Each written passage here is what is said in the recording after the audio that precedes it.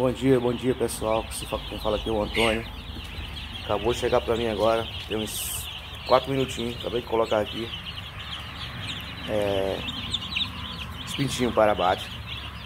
Entendeu? 200. Acabou de chegar. Vocês estão aí. Eles estão meio. O que aconteceu com eles? Tá vendo? Tenho cuidado nele aqui. Vou comprar mais um comprar mais dois bebedouros, porque eu tô achando que eles estão muito. Peguei isso aqui. Uma olhadinha. Parecendo que acabou de nascer agora. tá muito novinho, cara. Então é isso aí, ó. Vamos ver como é que fica. Muito pequenininho. Tem uns que estão maiorzinhos, agora tem uns que estão bem novinhos. Aqui, tá vendo? Olha só a diferença desse aqui e para esse aqui que tá bem empinadinho. É o que chegou pra mim, né? Acho que esse aqui nasceu talvez ontem, outro de ontem, sei lá. Tá muito novinho, né? E esse aqui, é a diferença, né? Mas é isso aí. Tamo aí. Vai trabalhar aqui, Deus quiser, cuidar bem deles.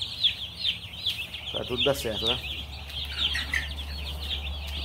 Isso aí. Vamos lá. Trabalhar, vou preparar a ração deles aqui agora.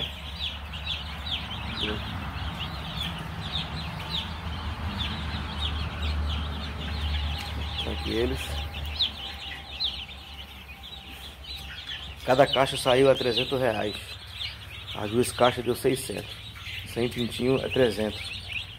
Duas caixas deu 600. Pra vocês saberem aí. Esses pintinhos. E, e, é isso aí. Isso aqui é um, é um, lote de 200. Isso aqui já tá aqui já. Um lote de 100.